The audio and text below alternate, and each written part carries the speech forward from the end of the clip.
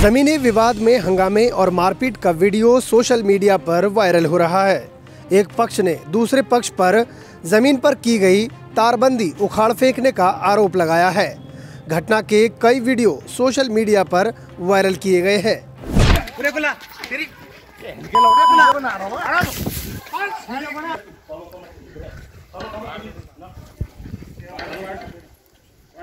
Video बनाता रहे video बनाता रहे।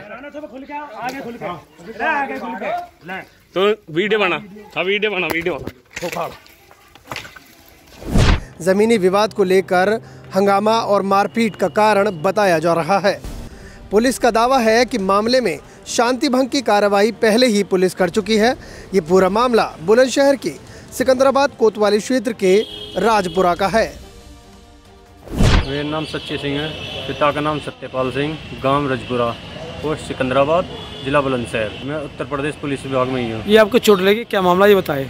ये हमारे घर के पीछे खाली जगह है और उसमें हमने तारबंदी कर रखी थी। जो पचास साल से हमारे ही हक में है। और उसकी ने हम वीडियोग्राफी कर रहे थे जो विपक्षी है वो उसे तोड़ रहे थे।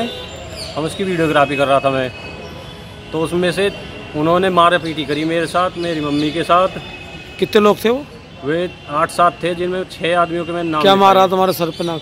मेरा ईट मारी है ईट पत्थर मारे मुझे भी मैं चक्कर आ गए मुझे भी इतना ध्यान नहीं रहा। टेन ट्वेंटी फोर न्यूज़ के लिए बुलंदशहर से इकबाल सेफी की रिपोर्ट। मेरे चैनल को सब्सक्राइब करें और हाँ बेल आइकन दबाना बिल्कुल ना भूलें।